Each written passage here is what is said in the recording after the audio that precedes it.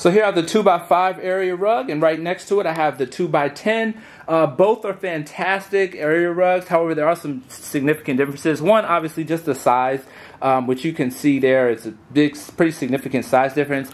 And then two is the, the, the texture and feel of this. Um, so this particular rug, the texture of this is very, very soft. It's almost silky. Um, so it, it feels really good when you walk on it.